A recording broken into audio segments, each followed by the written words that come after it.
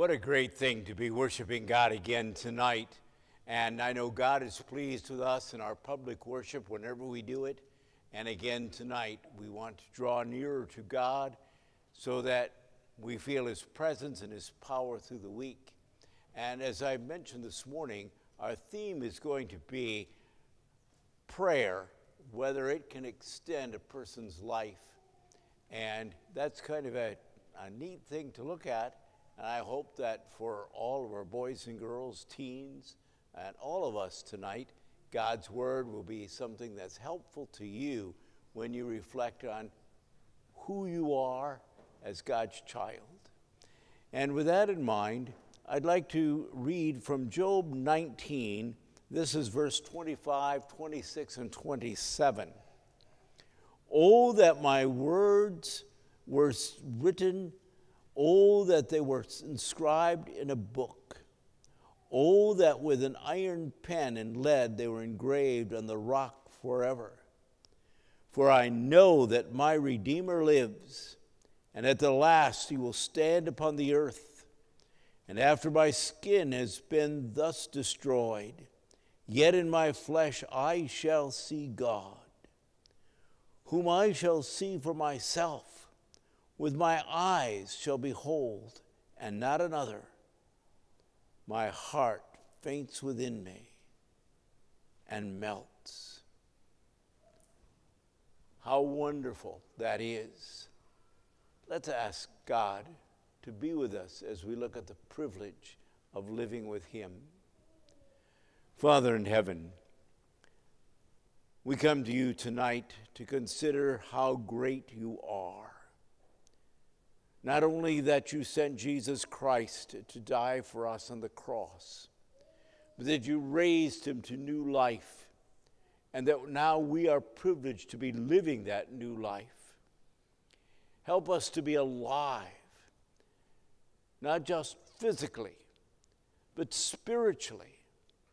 And help us, Father in heaven, not only to expect an abundant life here on earth, but eternal life to come because we know that life in the Lord Jesus Christ is wonderful and powerful.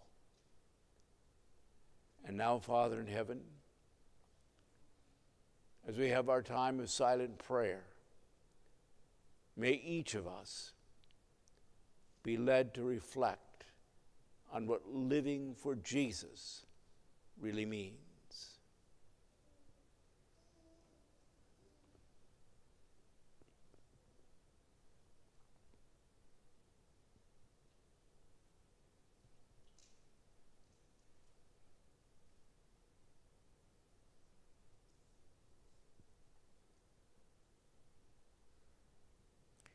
Hear our prayers, O Lord, and answer them for Jesus' sake. Amen. We're going to sing one, sing one of the most popular songs in Christendom, and that is What a Friend We Have in Jesus. We're going to sing the old traditional tune, not the new ones. This morning I kind of goofed you up a couple of those songs. For six months I haven't been using the Gray Psalter hymnal, so I just forgot to look at the tunes. And I would have said, let's sing it with the tunes that we grew up with and that our kids are probably going to sing for the centuries, not the ones that they inserted for us in the Gray Psalter hymnal. Shame to have a Psalter hymnal named after me and then have tunes I don't like. So, but that's the way it is in life, huh? Okay, let's rise and sing What a Friend We Have in Jesus.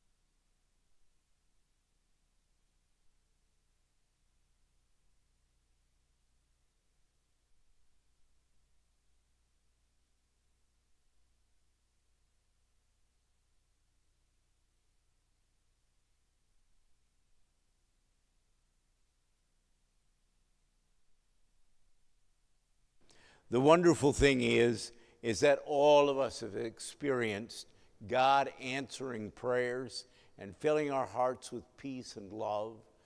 And tonight, Jesus is here with us. The Holy Spirit is in our hearts, and God our Father is greeting us. Grace to you and peace from God our Father and the Lord Jesus Christ through the power and fellowship of the Holy Spirit. Amen. We confess our faith together in the words of the Apostles' Creed.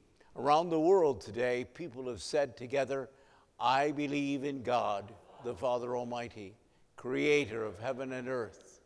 I believe in Jesus Christ, his only Son, our Lord, who was conceived by the Holy Spirit and born of the Virgin Mary. He suffered under Pontius Pilate, was crucified, died, and was buried. He descended to hell. The third day he rose again from the dead. He ascended to heaven and is seated at the right hand of God the Father Almighty. From there he will come to judge the living and the dead. I believe in the Holy Spirit, the Holy Catholic Church, the communion of saints, the forgiveness of sins, the resurrection of the body, and the life everlasting. Amen. And we sing, My faith looks up to thee.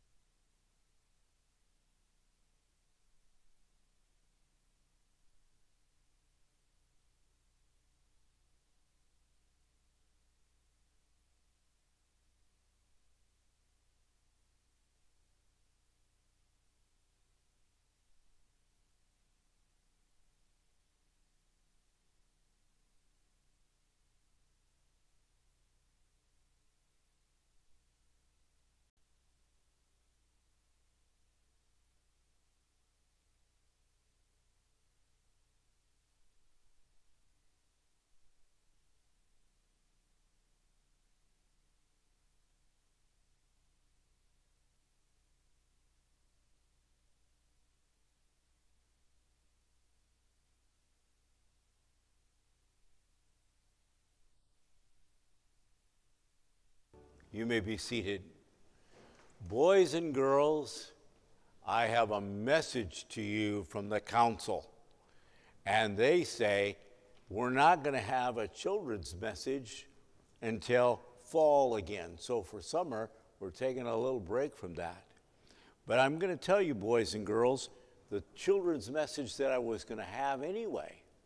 And it's one that I actually did this morning when I talked to you about children just about the age, well, probably about the age of our pastor's children, and the children I see out here too, where their mother died of cancer and their father died of cancer, and so grandma and grandpa had to bring them up.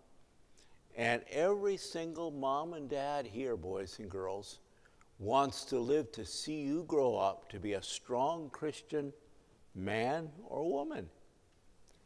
And if they get sick they're going to really pray hard that God gives them long life so that they can live. Now, do you think that we can ask God to have longer life and that God is going to answer our prayer? Or do you think probably God decided how long we're going to live anyway, so what good does it do to pray? So that's kind of the things that we're going to talk about tonight. But before we get to that, let's pray. And I know that your congregation always was a congregation that had requests. And I have a couple here that I was going to uh, mention in prayer. And uh, Alice Faber, as uh, her life is seemingly, humanly speaking, uh, coming toward an end. And uh, we know that there's some in our congregation that are struggling with cancer and we want to remember them in our prayers as well. So uh, I don't know by name all of those, but that's what I heard this morning. So, uh, any additional requests that you'd like to make tonight?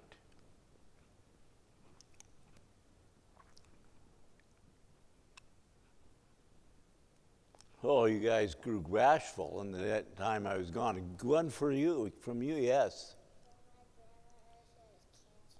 Okay, yeah, I've got your grandma listed right there in the prayer tonight, but thank you for mentioning that. Yeah, your grandma's a wonderful lady. So, yeah, we know her pretty well. She makes good things too, cookies and stuff too, doesn't she? Great grandma, yep.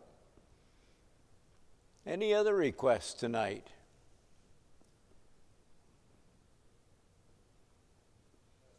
Yes. Our daughter Kelsey graduated from that school this past weekend, and praise God for that. Ask that He blesses her on her next journey. Okay. Does she know where she's going to practice? Wisconsin. Oh.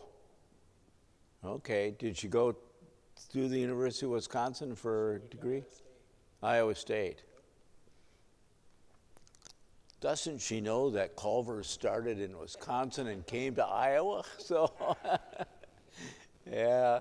Anyway, yeah, I hope that her practice and the people she practices with really embrace her in their practice, and I'm sure she'll do very well. So, any others? Yes. Okay, the Supreme Court and that whole battle.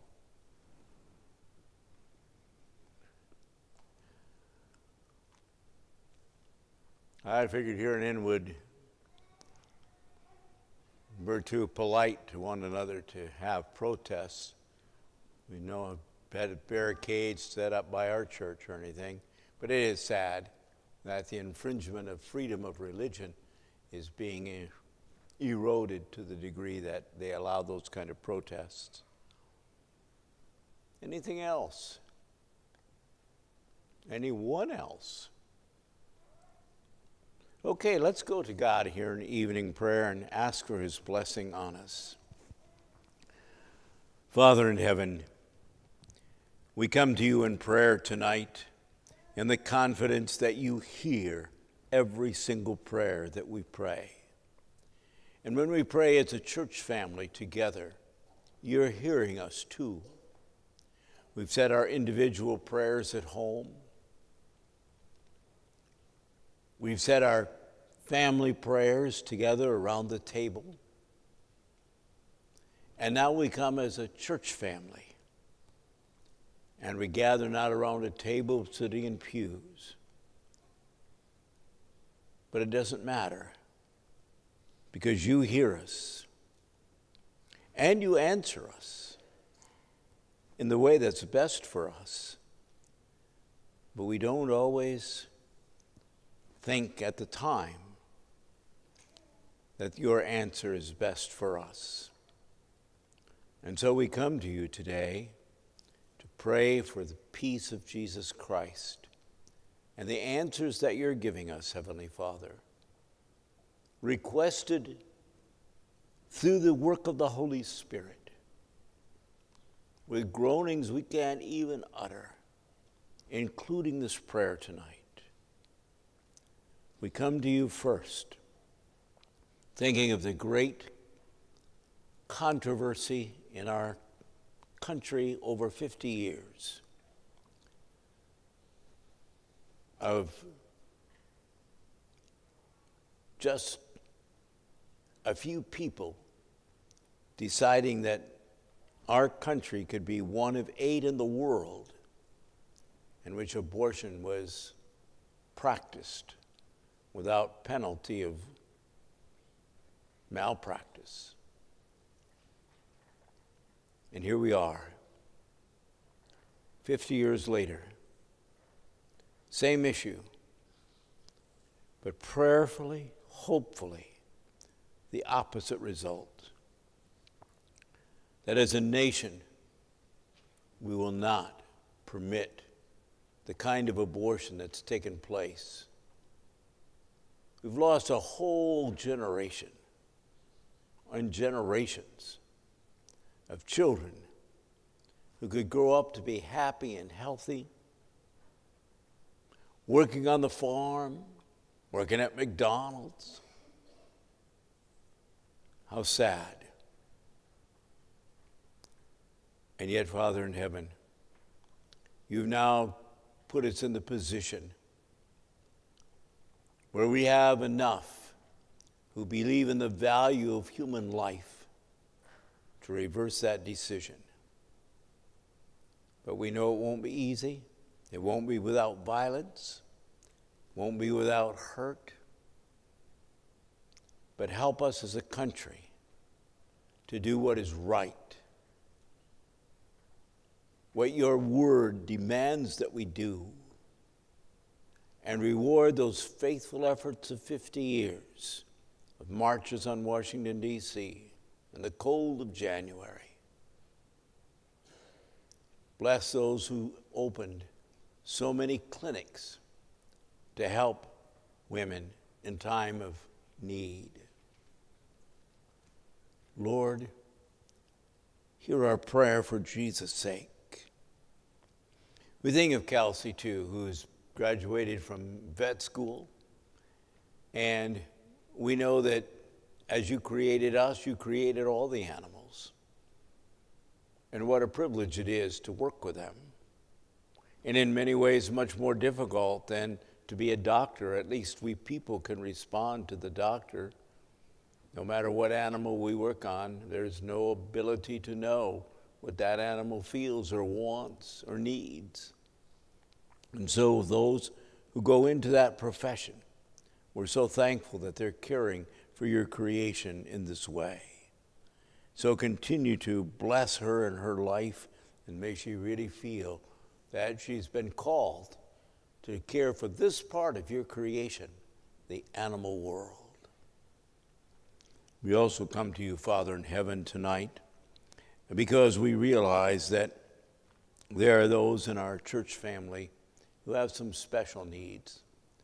And we think of Helma Davalar tonight. Uh, we know that you've gifted her with many blessings that she shared with us through the years. And we're so happy that she's been a part of our church family. And as she battles with cancer, as do so many, that she will be the victor. And that with her physicians, the cure for a cancer will come about, at least for her cancer. We thank you for the many runners and walkers yesterday who participated in that cancer run, raising money so that cancer research can continue. We pray, Father in heaven, that you'll bless that as well. And we think of the generation on whose shoulders we stand. Alice Faber is one of them.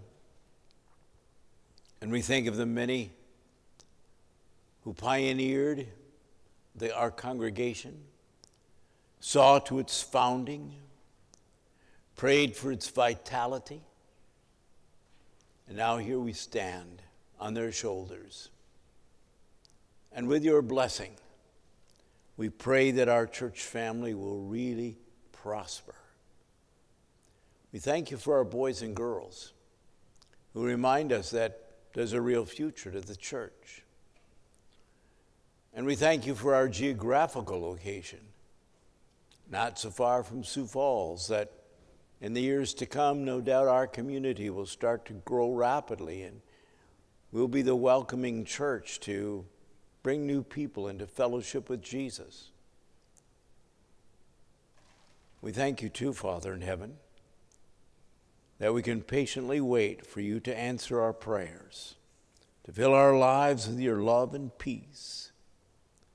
And as we look tonight at what it means for you to respond to our prayers, that we all will have a better understanding of Scripture. Help us, Lord, to really hear what you have to say to us in your word. In Jesus' name, amen. We're turning tonight uh, to 1 Kings chapter 20. And now, you boys and girls who are in grade school, you probably have learned all the kings of Israel. And you know Ahab was the worst king, bad King Ahab. But there was good King Hezekiah. Remember him? We're going to read about him here in chapter 20 of Second Kings. And out of reverence for the Word of God, we're going to rise and we hear Second Kings 20. And the title the translators give it is Hezekiah's Illness. Now, listen, boys and girls. In those days, Hezekiah became ill and was at the point of death. The prophet Isaiah, son of Amoz, went to him and said, This is what the Lord says Put your house in order because you are going to die. You will not recover. I need a little more light to read. I see the eye doctor for three hours tomorrow to find out what my eyes can do better. So, uh, pardon me for that. So, anyway, he was a son of Amittor. Hezekiah turned his face to the wall and prayed to the Lord Remember, O Lord, how I have walked before you faithfully and with wholehearted devotion, and have done what is good in your eyes. And Hezekiah wept bitterly. Before Isaiah had left the middle court, the word of the Lord came to him Go back and tell Hezekiah, the leader of my people, this is what the Lord, the God of your father David, says I have heard your prayer and seen your tears, will heal you. And on the third day from now, you will go up to the temple of the Lord. I will add 15 years to your life, and I will deliver you and this city from the hand of the king of Assyria. I will defend this city for my sake and for the sake of my servant David. Then Isaiah said, Prepare a poultice of figs. And they did so and applied it to the boil, and he recovered. Hezekiah had asked Isaiah, What will be the sign that the Lord will hear me, and that I will go up to the temple of the Lord on the third day from now? And Isaiah answered, This is the Lord's sign to you, that the Lord will do what he has promised. Shall the shadow go forward 10 steps or shall it go back 10 steps? It is a simple matter for the shadow to go forward 10 steps, said Hezekiah. Rather, have it go back 10 steps. Then the prophet Isaiah called upon the Lord, and the Lord made the shadow go back 10 steps as it had done on the stairway of Ahaz. At that time, Merodach Baladan, son of Bildad, king of Babylon, went to Hezekiah letters and a gift because he had heard of Hezekiah's illness. Hezekiah received the messengers and showed them all that was in his storehouses the silver, the gold, the spices, and the fine oil, his armory, and everything found among his treasures. There was nothing in his palace and in all his kingdom that Hezekiah did not show them. Then Isaiah the prophet went to King Hezekiah and asked, What did those men say, and where did they come from? From a distant land, Hezekiah replied. They came from Babylon. The prophet asked, What did they see in your palace? They saw everything in my palace, Hezekiah said. There is nothing among my treasures that I did not show them. Then Isaiah said to Hezekiah, Hear the word of the Lord. The time will surely come when everything in your palace and all that your fathers have stored up until this day will be carried off to Babylon. Nothing will be left, says the Lord. And some of your descendants, your own flesh and blood that will be born to you, will be taken away, and they will become eunuchs in the palace of the king of Babylon. The word of the Lord you have spoken is good, Hezekiah replied. For he thought, Will there be not peace and security in my lifetime? As for the other events of Hezekiah's reign, all his achievements and how he made the pool and the tunnel by which he brought water into the city, are they not written in the book of the annals of the kings of Judah? Hezekiah rested with his fathers, and Manasseh, his son, succeeded him as king. You may be seated.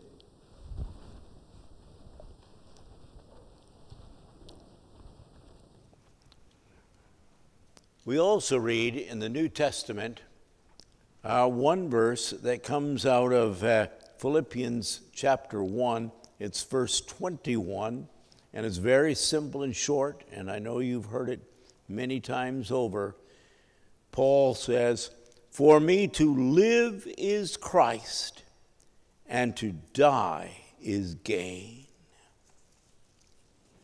Friends in Jesus Christ, we are all born to live. That's the way God created us in the first chapter of the Bible, in the second and third. And we read about all of those wonderful events. And so we learn in the first two chapters how we are to live. And we learn in the third chapter why it is that we die because of our sin. But the truth is that you and I were created to live. And inside of us, there's that feeling I do not want to die. And so we'll spend lots of money to live a little bit longer.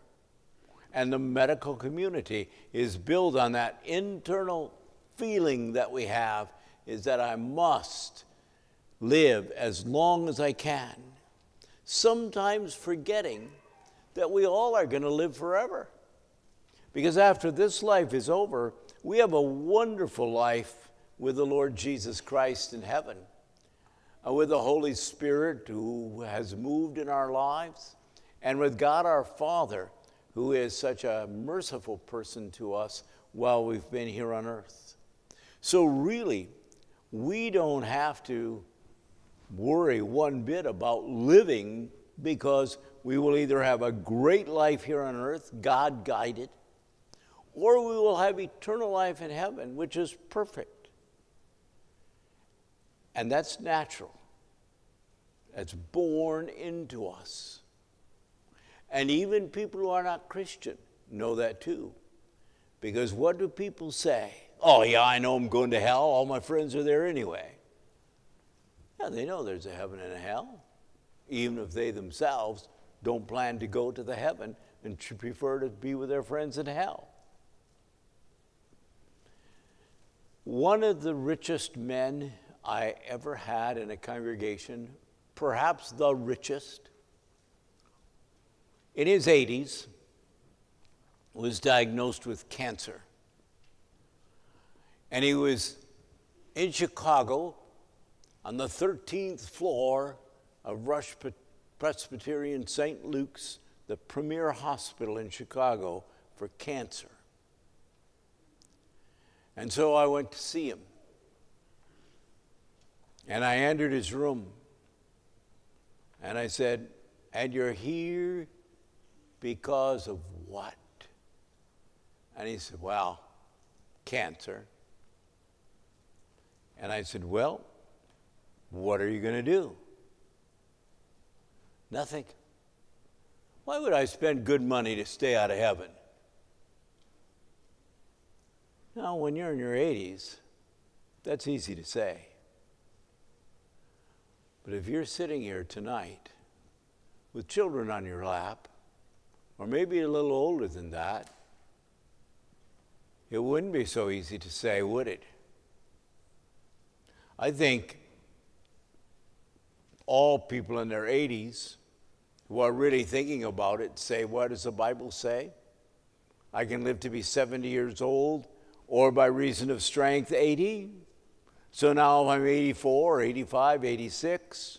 Yeah, why would I spend good money to stay out of heaven? Especially if we know how difficult some cancer treatments can be, how uncomfortable. So we can sort of think about those things. And as we do think about those things, our head and our heart go in different directions. Our head tells us, yes, I'm going to eternal life. And so if I can extend my life here on earth by spending thousands of dollars for a couple months and I'm miserable the whole time, yeah, why should I do that? But our heart says, I want to see my kids. I don't want to leave my spouse. My heart says, I've lived here and I've enjoyed living in such a wonderful agricultural re, uh, region of the country. I don't want to lose that. And so I'll spend any amount of money to stay alive for my spouse, alive for my kids, alive just to enjoy your creation, God. And so there we are, torn between head and heart. Well, the Bible gives us a good example about dying, and it's good King Hezekiah. Hezekiah was a wonderful king. We know how well he ruled. We know that God blessed him above many of the other people in this world. And so comes the question Can I extend my life by prayer? Sure, you can. Hezekiah did it. God hasn't changed, has He? So, why wouldn't God do it? Now, for a while, as this message has gone on, you're seeing up there supralapsarian view, infralapsarian view. You're wondering what that is. Well, I got to have my teenagers who've maybe just come out, are in catechism or coming out of catechism recently you probably have talked about these big words. Actually, even though it looks like a long word, it's not very long because when you look right in the middle of the word, it says lapser. Well, that's the Latin word uh, which for us means rock or solid. So supra means before the solid decision was made. Infra is after the solid decision was made. Now, what is that solid decision? That solid decision is what one God, the one God makes when we are conceived. And so when you were conceived in your mother's womb, and we remember that on Mother's Day, God knew how many hairs you'd have on your head. Every day when you ran your comb through your hair and there was a hair that came out, God knew it. And so He knew how many days you were going to live. And He knew how you were going to plan those days and how you were going to use them, whether you were going to believe on Jesus or not, whether you're going to go to heaven or hell. He knew it all. Now, the supralapsarian says he knew that before the foundation of the world. And why don't we just look at that text tonight? I think it'll be the next slide. Yes, here it is. He chose us in him before the creation of the world to be holy and blameless in his sight. In love, he predestined us to be adopted as his sons through Jesus Christ, in accordance with his pleasure and will, to the praise of his glorious grace, which he has freely given us in the one he loves. In him we have redemption through his blood the forgiveness of sins in accordance with the riches of God's grace that He lavished on us with all wisdom and understanding. And He made known to us the mystery of His will according to His good pleasure, which He purposed in Christ, to be put into effect when times will have reached their fulfillment, to bring all things in heaven and on earth together under one head, even Christ. That's Ephesians 1 4 to 10. So the supralapsarians say before the world was created, God made these decisions about you sitting in the pew in Inwood Christian Reformed Church tonight. And he knew that when you combed your hair before you came today, what hairs are going to fall out. The infralapsarian says, Oh, that makes God the author of sin. Then back in the, uh, in the Garden of Eden, God just let Adam and Eve sin, and yeah, he could have stopped it, but he didn't. So he says, after the fall, God came up with this plan. And the infralapsarian thinks like some of the poems that we have that talk about how Jesus came forward and told the Father yeah, I'm willing to go down and sacrifice myself so that we can have all these children who believe in me and so forth.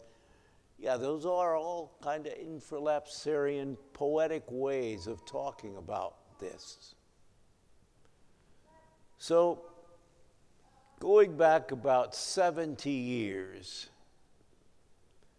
that would be your great great grandparents they used to argue about those two things. And this is what happened on Sunday night after church. They would invite each other over to their homes. And you boys and girls would get to play games, and if it was summer, you'd play tag, or winter, you'd go sledding. And mothers would sit together in the kitchen and they would talk about their families. And the men they would go into the living room and they would take out their cigars. They liked the Van Dams and they liked the crooks that were soaked in liquor. That's what they tell me was the two favorite cigars. And there they would smoke. And they would argue vigorously about ooh, supralapsarianism and infralapsarianism.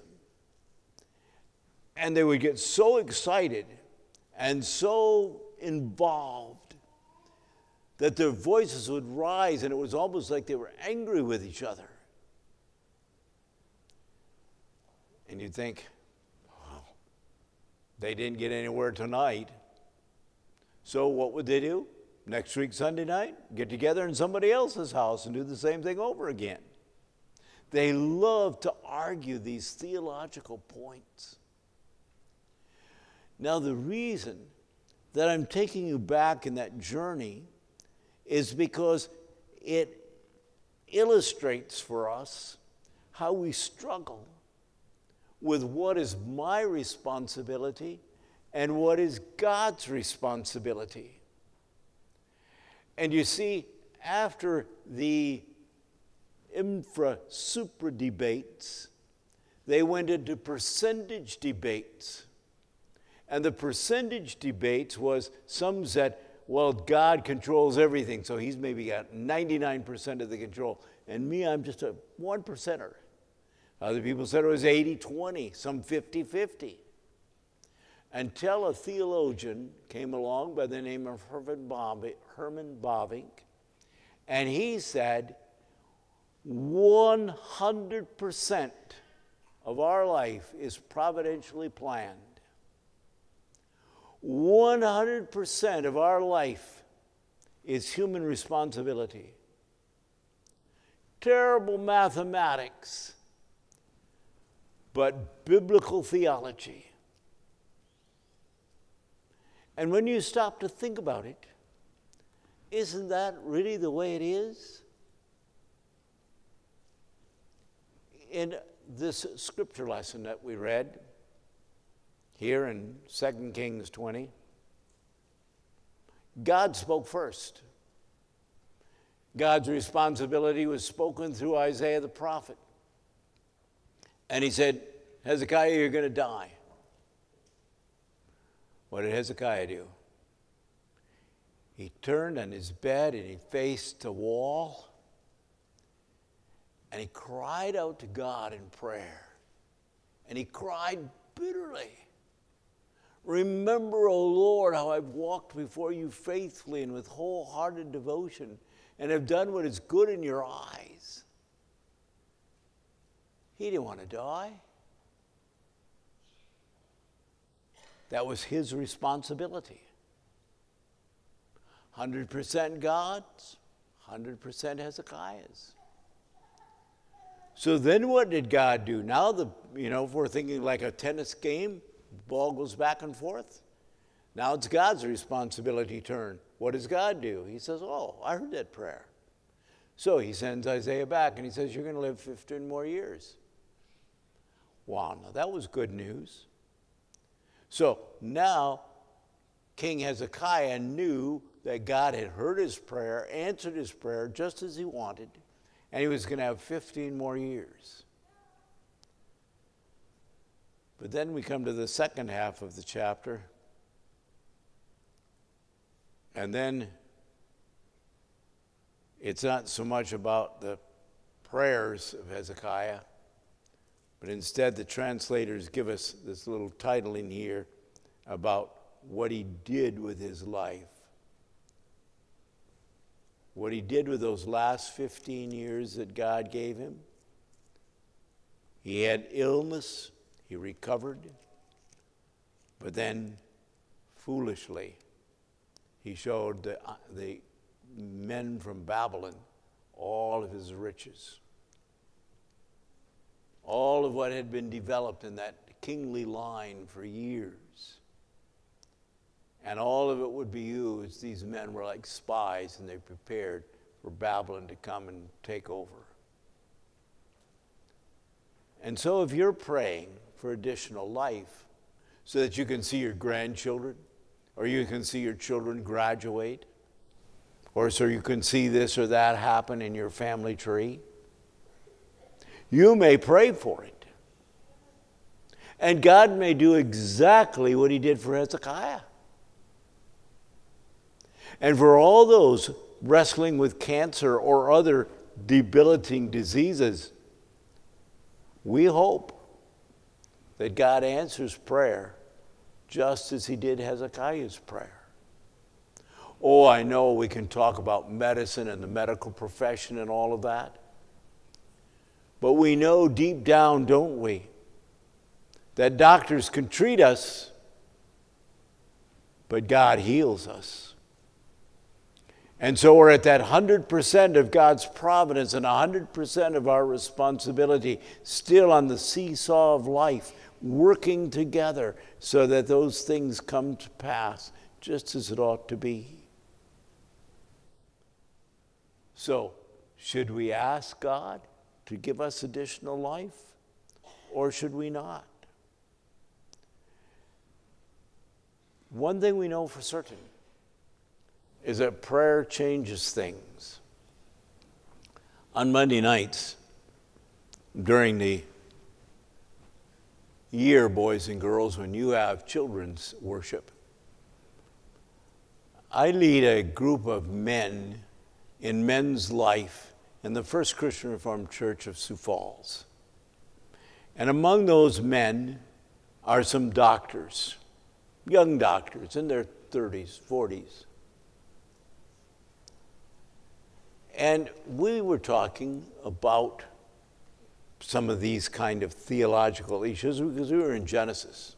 And we're going through Genesis really slowly, verse by verse.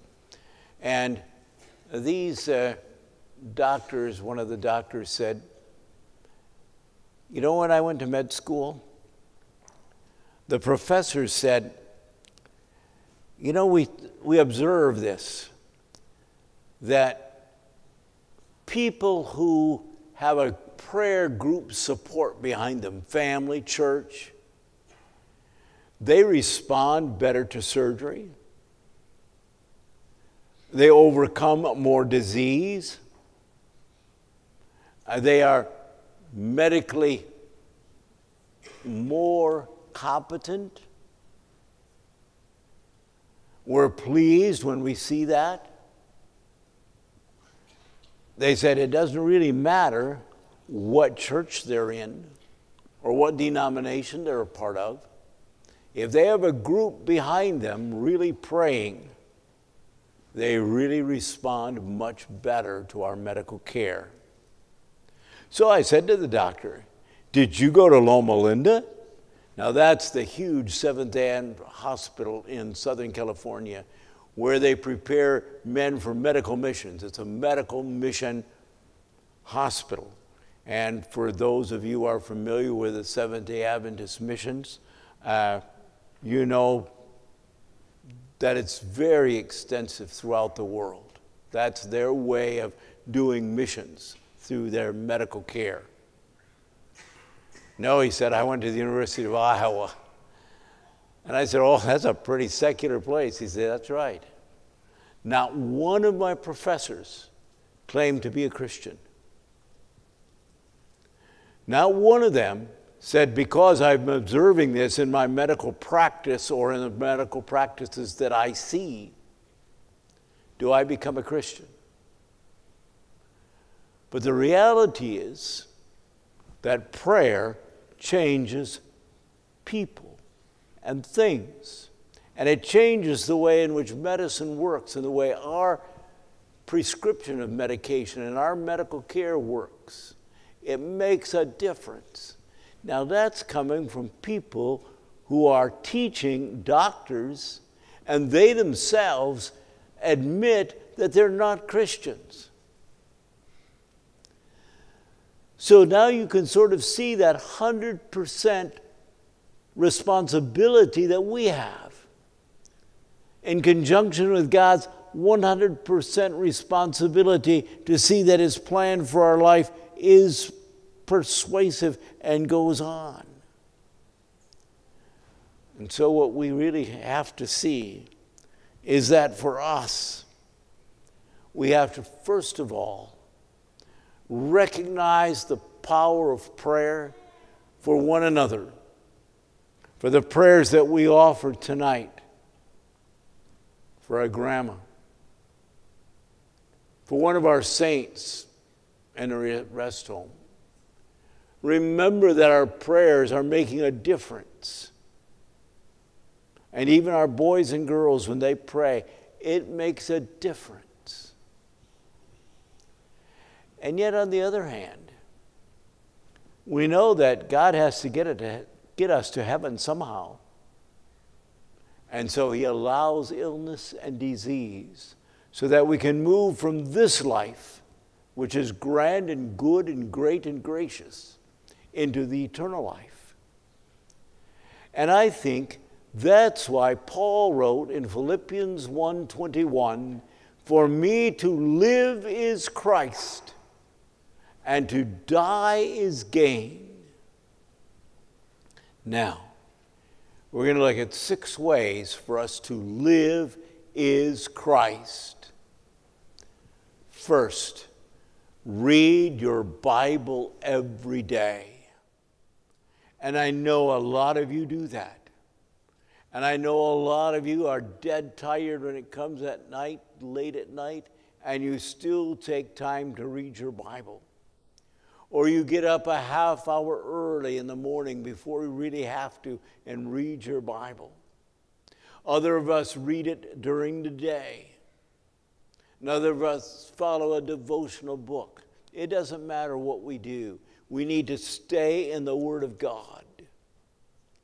Second, we need to pray, and our prayers will make a difference. Third, we need to worship, and the more often we worship, the more often God is blessing us. Our brethren in the Southern Baptist churches worship Sunday morning, Sunday night, Wednesday night. And very often their churches are filled all three occasions because they know the value of worship. Now, we've simply focused on two services, and you're here tonight in the second one. You need to be involved in Bible study that's beyond your personal devotions, where you have a group sharing.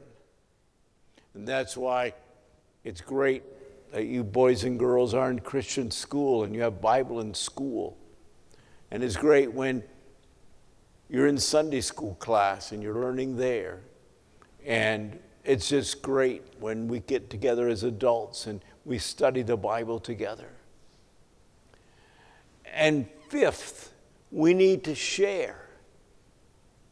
If you just have everything inside, you're not going to make progress in growing and as a Christian. You need to share and share and share some more. And as Christian Reformed people, that's where we have the biggest challenge to grow because we're not sharers. We love to grow. We love to gather in. We love to be in our circle. But it's hard for us to get beyond that and really share. And finally, we need to simply pause and think about where we are in our life. And if we ask God for more life, what will I do with that life? We have to pause at the end of each day and say, God, I saw you do this for me today, or I saw you do that for me today. And we need to pause sometimes in our life and just think, God, how great you are. What you've done for me is fabulous. You know, we sometimes joke about the best farmer is the one who loses his crop seven times during the summer and takes in a tremendous harvest in the fall. But yeah, we do we sometimes have to scratch our heads and think, God, why did you send us this kind of weather? But at the end, when we gather in the harvest, we say, God, you're gracious, you're good, you're wonderful. And we just need to pause and give God the adoration and praise for who He is. And that's why Paul wrote, to die is gain. I know there's tremendous fear of dying. There's tremendous pain when we part. from our loved ones here on earth. We know that we will be missed when we're here no longer, but are in our heavenly home. But when we plead with God, God, I want to live longer. I want to see my kids grow. I want to see who my kids marry. I want to see grandchildren. But God says, you're going to die. You will fear. You will have pain. You will be sorely missed. But you will fall into the arms of Jesus, who will give you an everlasting, wonderful, perfect life in heaven. And dying into Jesus' arms is better than artificially prolonging our life here on earth. And I hope you pause to think about this tonight. What's my responsibility 100%? God's already taken care of his 100%. Let's turn to him in prayer. Father in heaven, we need you desperately to help us sort through life and come to the place where we can deep, correctly and deeply understand how your plan for our life done before the worlds were created, or for some Christians after sin came into the world, we will know, Father in heaven, that you are perfectly carrying out your responsibility.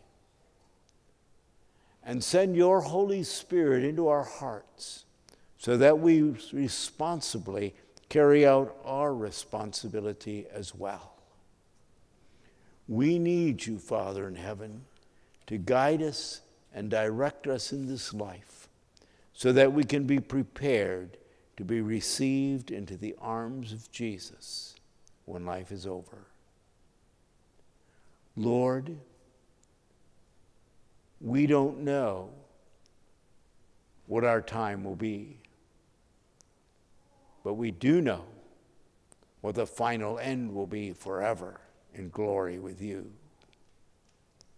Hear us as we sing, Lord, my petition heed. Amen. And let's rise to sing together, Lord, my petition heed.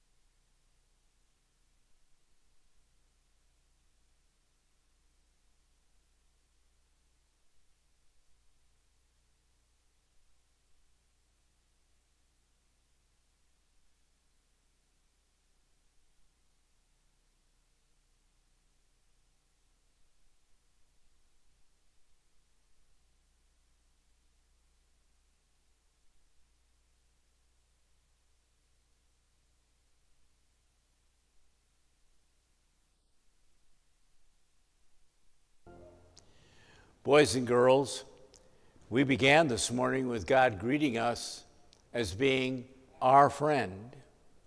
And you just sang, He is our friend. And He is your friend. He loves you and He cares for you. And we know that that's true whether our teen years, our older years, and even to the oldest member who's worshiping with us tonight. God is our friend. But we have a special happy time for you boys and girls when you go to Bible school. And I hope each one of you can go, and we're going to pray that you have a wonderful time at Bible school this year because that's what our offering is for tonight.